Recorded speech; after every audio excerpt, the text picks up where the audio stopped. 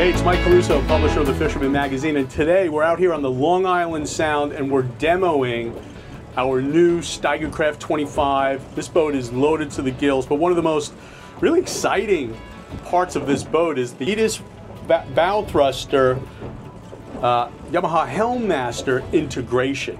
Today we're looking at how the bow thruster and the Yamaha work together. And this is the new 350 fully electronic steering Yamaha.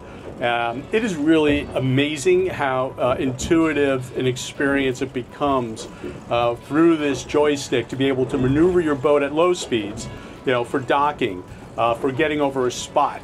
Uh, that integration between the bow thruster and the engine work in concert to um, give you control that you could never have if it was just your throttle the wheel, and, and also the bow thruster without the helm master. This gives you added maneuverability um, that uh, will take a lot of the stress out of uh, pulling up to your dock, especially on a windy day.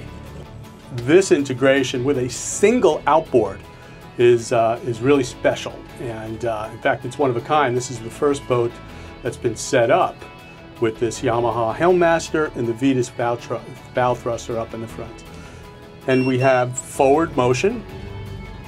You can hear that Yamaha beginning to propel if we pull it back.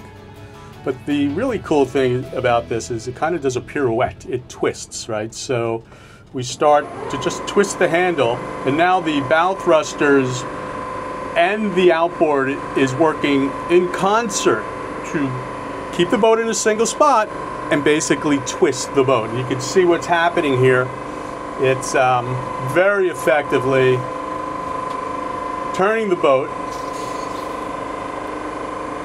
And now the boat is in place, just basically twisting. So that alone is something you could never do with a single outboard.